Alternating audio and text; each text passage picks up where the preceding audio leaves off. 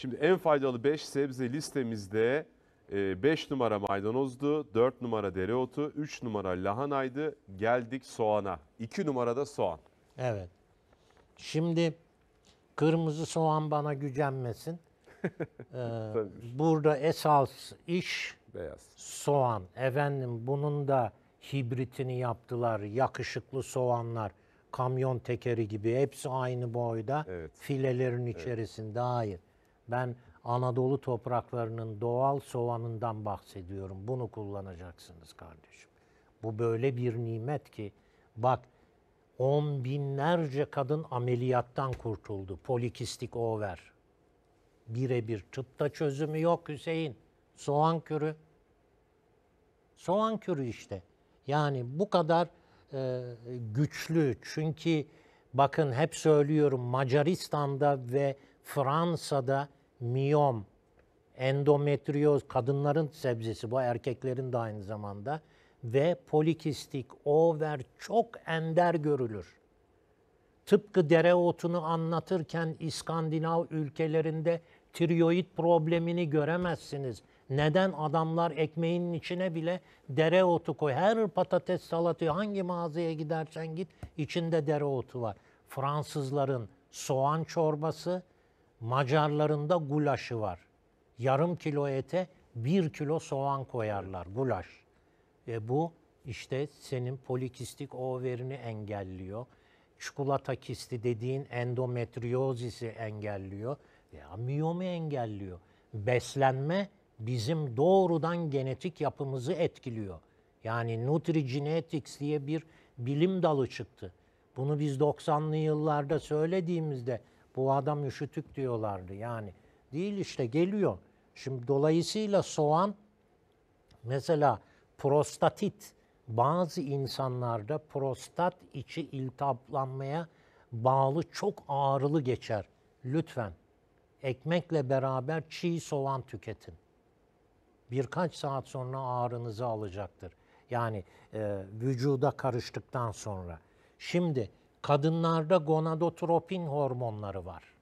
FSH gibi. Evet. Folikül stimüle hormon, lutein hormonu. Efendim bunların dengelenmesinde müthiş etkili. FSH'ı yüksek olduğu için hamile kalamayan binlerce kadın bir tek soğan kürüyle hamile kaldılar. Bunun için gelir mağazaya o ya hocama söyleyin teşekkür ediyorum. Soğan kürüyle biz hamile kaldık filan diye. Yani bu işte polikistik over bazen engeldir. Yapın.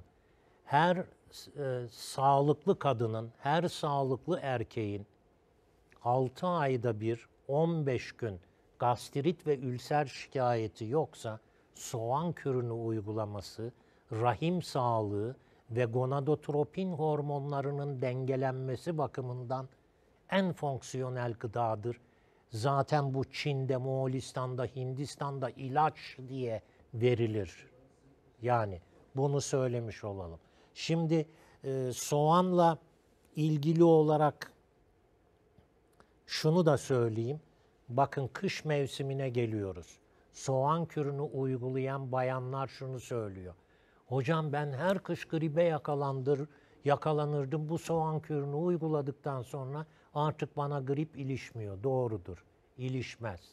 Yani şu e, Ekim ayında filan yapacağınız bir 15 günlük soğan kürüyle ne yapıyorsunuz? O sizi 2-3 ay idare edecektir. Gribe karşı. Müthiş size bağışıklık kazandırıyor Hüseyin.